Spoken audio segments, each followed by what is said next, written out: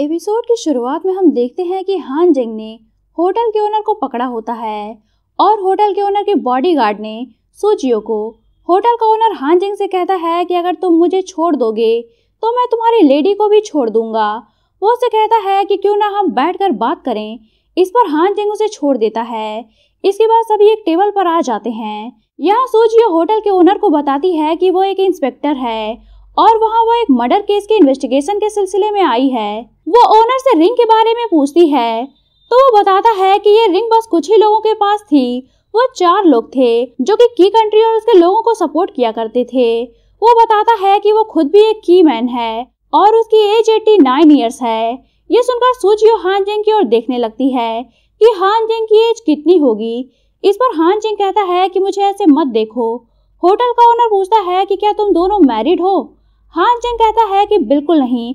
ये बस मेरे साथ मिलकर काम करती है। हम दोनों बस पार्टनर्स हैं। लेकिन सूजियो कहती है कि नहीं, मैं इसकी वाइफ हूँ। ये बस मुझसे गुस्सा है। इसीलिए ऐसा बोल रहे हैं। इसके बाद दोनों होटल से बाहर आते हैं और सारी बातों को ध्यान से एनालाइज करते हैं। तो उन्हें पता चलता है कि जो मर्डर है, वो एक की मैन नहीं है, बल्कि वो बस आम लोगों और की मैन के बीच नफरत पैदा कर रहा है। वो बस आम लोगों को ये यकीन दिला रहा है कि कीमैन्स बहुत खतरनाक होते हैं और लोगों को मारते हैं। इधर गॉडफादर सूजियो की मदर को कुछ इंजेक्ट देते हैं, जिसे देखकर वो बहुत खुश हो जाती हैं और उन्हें थैंक्स बोलती हैं। बदले में उन्हें कुछ हेल्थ इंप्रूव करने वाली मेडिसिन भी देती हैं। इधर सूजियो वापस पुलिस स्टेशन आकर डेड बॉडीज की जाँच करने लगती है। यहाँ वो देखती है कि चारों बॉडीज के फिंगर में रिंग का निशान है।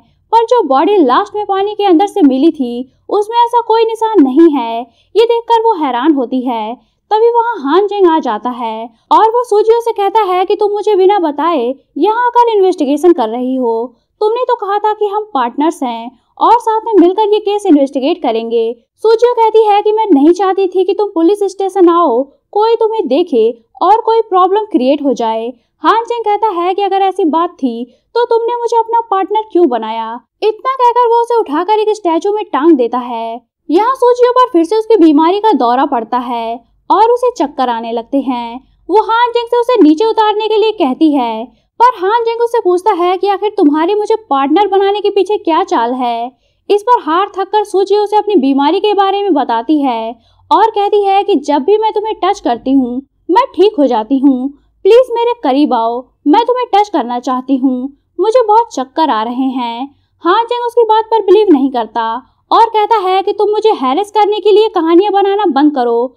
सूजियों की हालत बिगड़ती जा रही थी। इसीलिए वो हान जिंग को अपने पास खींचकर किस करती है, जिस पर हान जिंग शॉक्ड रह जाता है। तभी वहाँ ऑफिसर जिन आते हैं। तो हान जिंग जल्दी जल्दी एक चादर ओढ़कर डेड बॉडीज के बेंच पर सो जाता है। ऑफिसर जिन सूचियों को वहाँ देखकर कहते हैं कि क्या तुम यहाँ इन्वेस्टिगेशन कर रही हो? क्या तुम्हें केस के बारे में कुछ और पता चला? मुझे पता है कि तुम बहुत स्मार्ट हो, और अगर तुम मेरे साथ मिलकर काम करो तो हम दोनों का फ़ायदा होगा। सोचिए ऑफिसर जिनको बताती है कि यहाँ जितने भी मर्डर्स हो रहे हैं, उन्हें करने वाला आदमी की मैन नहीं है, बल्कि कोई और है। यहाँ ऑफिसर जिन कहते हैं कि फ़िलहाल तो इसका कोई सबूत नहीं है, अगर हम सबके सामने ये प्रूव कर दें कि ये सारे मर्डर्स एक की मैन ने ही किए हैं तो तुम्हारी जॉब बच जाएगी और मुझे प्रमोशन मिल जाएगा। फिर हम दोनों मिलकर किसी की मैन को इसमें फ्रेम कर देंगे और ये केस बंद हो जाएगा। पर सूजियो कहती है कि मैं ऐसा नहीं कर सकती। मैं एक पुलिस ऑफिसर हूँ। मेरा काम सच का पता लगाना है, न कि अपने फ़ायदे के लिए किसी को फंसाना। उसकी ये बात हान जिंग भी सुन लेता है और वो सूजियो की बातों से काफ़ी ज़्यादा इम्प्रेस होता है। ऑफिसर जिन के जाने के बाद हान जिंग सामने आता है और कहता है कि तुम वाकई एक अच्छी पुलिस ऑफिसर हो। तुम मेरे साथ मिलकर काम कर सकती हो, पर मेरे साथ मिलकर काम करने की कुछ शर्तें हैं। पहली ये कि तुम मुझे एक रियल आईडी कार्ड बनवा कर दोगी। दूसरी ये कि जब मन चाहे तब तुम मुझे छू नहीं सकती हो, और तुम्हें हमेशा मेरी बात माननी होगी। इस पर सोचिए उसकी सारी शर्तें मान लेती है। इसके बाद वो हान जिन से कहती है कि ये तो हमने पता लगा लिया कि जो मर्डर है, वो की मैन नहीं है, पर जिस आदमी ने मुझे धक्का दिया था वो तो एक की मैन ही था। मैं सोच रही हूँ कि इन दोनों में क्या कनेक्शन हो सकता है। यहाँ हान जिंग सूजियो को बताता है कि मैंने भी इन डेड बॉडीज की जाँच की है। इसमें जो लास्ट वाली डेड बॉडी है, वो एक की मैन की है, क्योंकि की मैन की लाइफ काफ़ी लंबी होती है। इसीलिए मुझे चेक करने पर पता चला कि 40-50 साल पहले इसे कोई चोट लगी थी, जिससे इसके पैरों और हाथों की कई हड्डियाँ फ्रैक्चर हो गई थी और वो अभी तक इसका ट्रीटमेंट करवा रहा था। अब हमें मर्डर का पता लगाने के लिए सबसे पहले इस बंदे का पता करना होगा। इतना कहकर वो वापस उस ब्रिज पर जाता है, जहाँ मर्डर ने सूजियो को धक्का दिया था। यहाँ पहुंचकर वो अपने फ्रेंड मुयान को याद करता है। इधर सूजियो की मदर परेशान होती हैं, क्योंकि काफ़ी रात हो जाने पर भी सूजियो अभी तक घर नहीं आई थी। इस बार सूजियो की फ्रेंड उन्हें बताती है कि सूजियो को आजकल कोई मिल गया है। शायद वो उसी की वजह से अभी तक घर नहीं आई है। सूजियो की मदर उसकी बातों को सीरियसली नहीं लेती और अंदर चली जाती हैं। तभी वहाँ गॉड फादर भी आ जाते हैं। वो भी उसे सूजियो के बारे में पूछते हैं।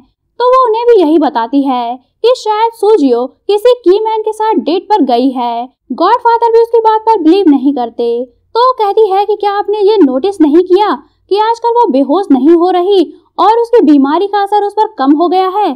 इस पर गॉड फादर को रियलाइज़ होता है कि वो सही कह रही है। इतने में वहाँ सूजियो भी आ जाती है। गॉड फादर उसे पूछते हैं कि तुम्हारा और हान जिंग का आखिर क्या चल रहा है? इस बार सूजियो ने केस से रिलेटेड सारी बातें बता देती है और कहती है कि हम दोनों बस साथ मिलकर काम कर रहे हैं। इतना कहकर वो अंदर चली जाती है और उसके जाने के बाद गॉड फादर कहते हैं कि मैं उस रूट की मैन को अपनी डॉटर के साथ कुछ भी बुरा नहीं करने दूँगा। इधर हान जिंग जाकर अपने असिस्टेंट को सूजियो के साथ मिलकर काम करने वाली बात बताता है तो वो सॉफ्ट हो जाता है। वो कहता है कि कहीं तुम उसे पसंद तो नहीं करने लगे? इस पर हान जिंग कहता है कि बिल्कुल भी नहीं। वो तो मैंने उसे साथ इसलिए लिया है ताकि हमें पुलिस स्टेशन की खबरें मिलती रहें और हमारा काम आसान हो जाए। नेक्स्ट डे सूजी और हान जिंग दोनों मरे हुए बंदे का पता लगाने की मार्केट जाते हैं। यहाँ सूजी कुछ की मैंस को सामान लेने के बहाने टच करके देखती है कि क्या वाकई किसी दूसरे की मैन को भी छूने से वो ठीक हो सकती है। लेकिन उसे कुछ भी फील नहीं होता। ये सब देखकर जिंग को गुस्सा आता है और वो मन में सोचता है कि ये लड़की कितनी ठरकी है। किसी को भी टच करने पहुँच जाती है। इसके बाद सोचियो हान जिंग से कहती है कि तुम अपना हाथ दो। हान कहता है कि बिल्कुल भी नहीं। तुमने पहले ही बहुत से लोगों को टच कर लिया है। इस पर सोचियो कहती है कि मैं तो बस चेक करना चाहती थी कि क्या किसी और की मैन को टच करने पर भी मैं ठीक हो सकती हूँ। इस पर हान जिंग कहता है कि चलो, अब केस के बारे में कुछ पता करते हैं। इतना कहकर वो दोनों एक पुरानी जड़ी बूटियों की शॉप में इंटर करते हैं। यही ये पार्ट एंड होता है। तो दोस्तों, अगर आप जानना चाहते हैं कि कहानी में आगे क्या हुआ तो बने रहिए मेरे साथ। और अगर आपने अभी तक चैनल को सब्सक्राइब नहीं किया है तो चैनल को सब्सक्राइब करके बेल आइकन पर क्लिक कर लीजिए। ताकि आपको हमारे आने वाली वीडियोस की इंस्टेंट नोटिफिकेशंस मिलती रहे। तो मिलते हैं नेक्स्ट वीडियो के साथ। तब तक के लिए take care and good bye